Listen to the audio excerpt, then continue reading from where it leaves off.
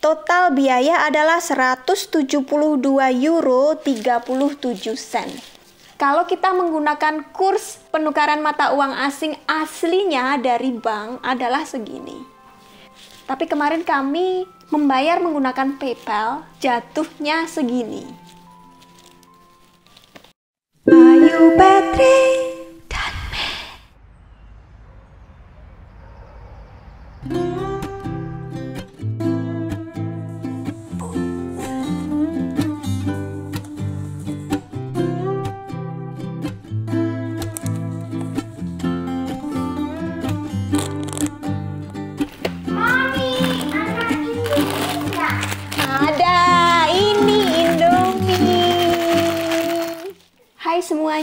kabar? Selamat datang di Ayu Petring dan Matt.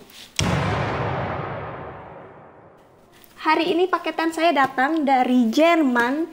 Ini beratnya 18 kg. Jadi ceritanya sudah sejak pandemi ini saya nggak ke mana-mana kan nggak ke toko Asia juga dan biasanya saya kami sekeluarga mudik ke Indonesia setahun sekali kalau sudah gitu baliknya ke sini biasanya paling tidak dua koper itu saya penuhi berbagai macam hasil bumi dari Indonesia.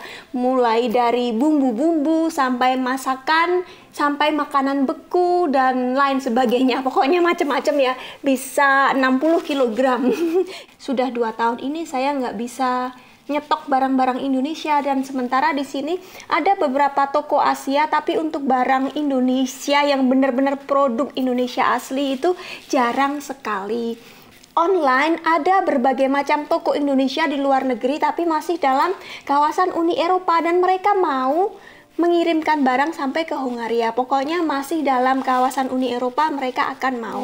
Saya mohon maaf dulu untuk teman-teman yang biasanya komen kenapa nggak langsung dibongkar belanjaannya, kenapa kebanyakan ngomong. Saya jelaskan dulu karena kalau kita belanja antar negara itu pasti ada penukaran mata uang asing kan.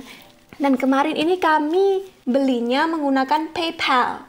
Saya suka PayPal karena aman. Misalnya kita tertipu barangnya ternyata nggak dikirim. Atau barangnya kurang, nggak sesuai dengan apa yang kita minta.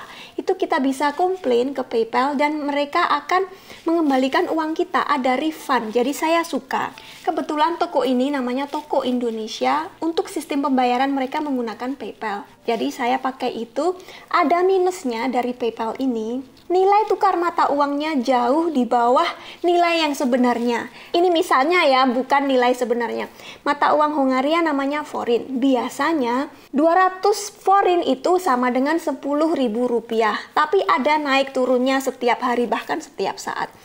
Kalau kita menggunakan PayPal, mereka akan mengambil untung dari nilai tukarnya. Mereka nggak akan ngambil tepat 10.000 tapi misalnya 15.000 misalnya seperti itu jadi akhirnya kalau kita menghabiskan banyak uang misalnya sampai berjuta-juta ya pastikan nilainya akan bertambah jauh lebih banyak daripada nilai tukar yang sebenarnya anyway begitu jadi ini sharing saja untuk teman-teman yang suka membeli barang dari luar negeri kita bisa untung ataupun rugi dari perbedaan nilai kurs mata uang asing itu tadi. Oke, sekarang kita langsung buka saja.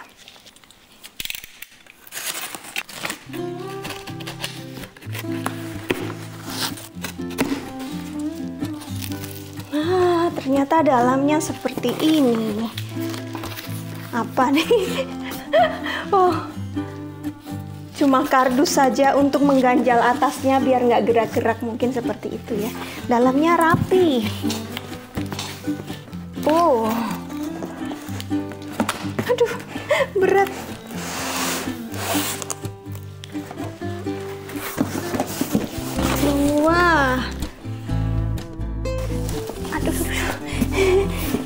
Ini sudah separuh ya. Ini nggak kebayang ayah harus gotong semua koper kami setiap kali mudik ke Indonesia. 90 kilo.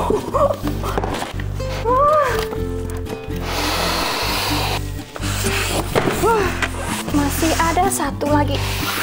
Oke. Nah, ini udah kosong ya. Di dalam ada empat kardus kecil seperti ini. Oke teman-teman, sekarang kita buka satu-satu. Santai sambil ngobrol ya, belum-belum saya sudah keringetan. Uh, oke. Ini pertama kalinya saya belanja di toko Indonesia di luar negeri dan ternyata sukses. Ah, keripik tempe teman-teman. Saya sudah lama nggak makan tempe. Situasi virus corona di sini ya sekarang sedang gawat-gawatnya gelombang ketiga di berbagai negara di Uni Eropa, tapi katanya terutama di Hungaria merupakan salah satu yang paling gawat. Kalau dihitung-hitung, jumlah pasien terbanyak yang ada di rumah sakit ini per 1 juta populasi paling banyak adalah di Hungaria. Katanya setiap lima menit ada orang meninggal di rumah sakit karena virus corona. Jadi segitu gawatnya. Ya begitu, kami beneran nggak ke mana-mana. Terus Ayah Ahmed bilang sudah dua tahun ini kita nggak ke Indonesia, kamu belanja online aja siapa tahu bisa mengobati sedikit rasa kangen terhadap barang-barang Indonesia begitu. Cemilan begini, barang-barang nggak penting ini hiburan saya ya teman-teman. Biasanya saya ngomong tentang hidup minimalis, tapi kalau ada sesuatu yang membuat hati saya senang itu ya makanan Indonesia. Matt pun suka kacang-kacangan seperti ini. Kerupuk tahu, Matt pun suka kerupuk-kerupukan kayak begini yang mentah-mentah seperti ini kelihatannya sepele ya teman-teman tapi kalau untuk kami ini benar-benar hiburan. Penyambung hidup bisa dibilang begitu. Dan kalau ada tamu yang datang bisa jadi untuk oleh-oleh. Nanti kapan-kapan kita bisa bikin cendol. Kelihatannya tadi berat sekali ya tapi satu kardus sudah habis dibuka.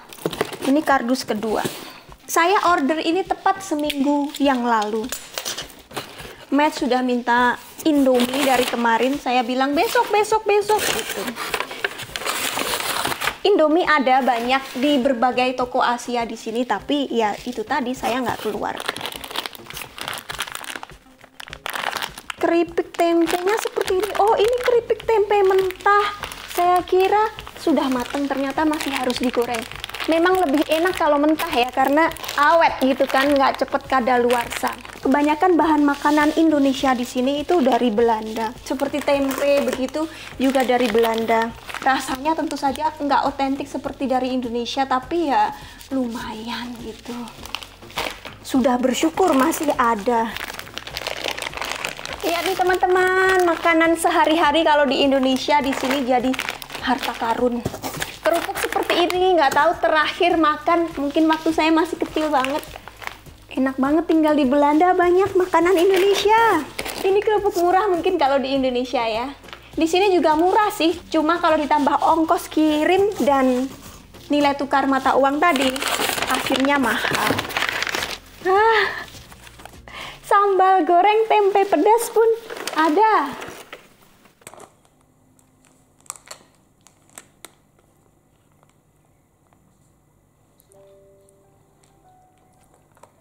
Enak banget. Kayak yang biasa kita pakai untuk campuran nasi pecel gitu. Hmm, ini nggak ada yang doyan cuma saya. Ini sari kelapa. Matt suka banget sari kelapa seperti ini terutama yang mereknya Wong Koko. Ini adanya cuma merek Kara kami belum pernah coba tapi ya mirip-mirip saja lah ya mungkin.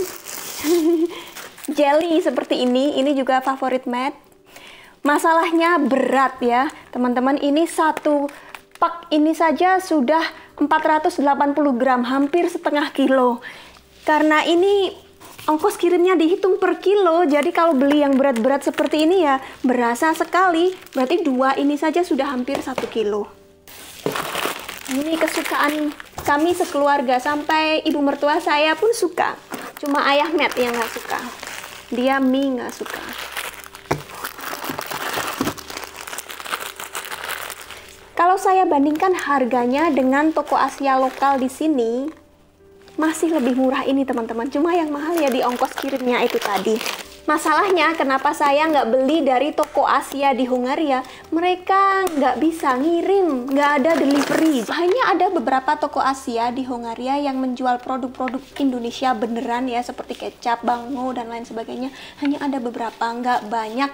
Dan mereka itu tempatnya ada seperti di daerah yang boleh dibilang agak nggak aman gitulah ya di sini. Kadang-kadang ada berita tentang penggerbekan orang-orang yang pakai drugs, terus banyak copet, kayak gitu-gitulah teman-teman. Jadi suami saya tuh nggak suka kalau saya pergi ke sana sendirian. Saya nggak pernah lah ke sana sendirian. Biasanya kalau ada teman baru boleh. Gitu.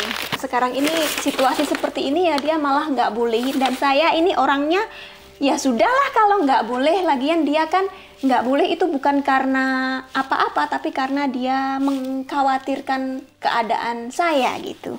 Jadi kenapa nggak nurut? Terus dikasih izin beli online saja. Ya sudah. Ini kita buka kardus ketiga. Saya memang beli semuanya bahan-bahan yang awet tahan lama. Jadi makanya sedikit-sedikit di eman-eman disayang-sayang gitu ya. Biar nggak cepat habis kerupuk lagi karena kami sekeluarga pecinta kerupuk. Kerupuk bawal putih. Kerupuk mentah. Ini kerupuk Palembang. Macam-macam kerupuk. Kerupuk-kerupuk. Siapa mau kerupuk saya beli kedelai satu kilo mau mencoba membuat tempe. Nggak tahu lah kalau berhasil atau enggak. Kapan-kapan saya bikin videonya. Kalau jadi ya kalau nggak jadi ya enggak. Mami, ada Indomie nggak? ada ini Indomie. Terima kasih. bon cabe dulu Matt pernah bikin video masak untuk saya bon cabe level berapa ya? Level 30 kalau nggak salah. Itu dihabisin semua saya disuruh makan teman-teman. Dasar. Tepung pondan seperti ini penyelamat kadang-kadang kan kita butuh ya orang di luar negeri itu pengen memperkenalkan budaya dari negara mereka termasuk juga saya kalau ada tamu tiba-tiba saya pengennya menyuguhkan sesuatu yang berbau Indonesia. Jadi kadang cepet-cepetan gitu. Kalau ada tepung pondan seperti ini kan enak, praktis. Oke, ini kardus yang terakhir. Kok 18 kilo kalau sudah dibongkar seperti ini kelihatannya sedikit ya. Ini kebutuhan dapur. Saya nggak punya peralatan dapur yang macam-macam, tapi kalau bumbu Indonesia saya selalu punya, seperti kecap, bango, ini ada kue lapis. Harganya berapa kalau di Indonesia ya teman-teman? Dua tahun yang lalu terakhir saya pulang ke Indonesia tahun 2019 beli satu di Cepu di kampung saya itu kalau nggak salah ya sekitar 30 ribu rupiah. Kemudian bumbu soto, saya beli banyak karena saya suka banget soto ayam. Bikin sendiri bisa, tapi lebih praktis begini karena yang makan cuma saya. Kemudian ini bumbu pecel, makanan favorit saya pecel dan gado-gado dan pepes ikan dan bakso dan soto ayam dan makanan favorit saya tuh banyak banget. Oh, ini bungkusnya rapi ya.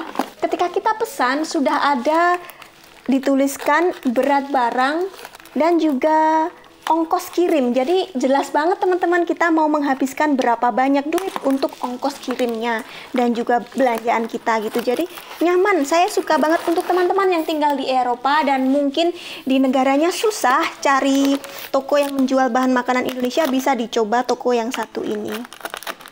Ini kesukaan Matt. Jus leci seperti ini. Di sini ada juga di toko Asia, tapi ya itu tadi. Saya belum keluar. Matt, Yes. mau leci jus? You have lychee juice? Yes. Yes, please. Kemudian ini ada sambal geprek. Belum pernah coba teman-teman. Saya cuma kepingin gitu. Setelah ini nanti saya harus kerja keras untuk mendaur ulang bungkusnya ini ya. Lumayan banyak kardus-kardusnya. Oke. Ya, ini yang terakhir. Saya cek dulu kwitansinya, ternyata oke, biaya pengiriman kemarin ini adalah 32 euro. Total biaya bersih 161 euro 10 sen. Ditambah 7% PPN. Wah, kalau di Jerman ternyata PPN-nya cuma 7%, di Indonesia 10% ya. Di sini 27%. Total biaya adalah 172 euro 37 sen. Nah, ini yang saya cerita tadi. Kalau kita menggunakan kurs penukaran mata uang asing aslinya dari bank adalah segini. Tapi kemarin kami membayar menggunakan PayPal, jatuhnya segini lumayan juga ya. Tapi ya karena saya takut ini pertama kalinya beli dari toko itu. Saya nggak mau kalau ditipu atau gimana gitu. Jadi sekarang sudah tahu ternyata tokonya servisnya bagus juga. Lain kali mungkin saya bisa pilih langsung kirim ke rekening bank mereka saja. Kalau begitu kan lebih murah ya mungkin menggunakan kurs yang resmi dari bank. Mungkin mungkin. Tapi nggak tahu juga sih di sini transfer antar bank itu juga lumayan mahal. Anyway begitulah shopping haul kita hari ini teman-teman. Semoga kalian suka dengan video ini tetap bermanfaat paling tidak untuk menginfokan bagaimana membeli bahan makanan Indonesia di Eropa. Terima kasih sudah menonton, sampai ketemu di video berikutnya. Bye-bye. Kenyang.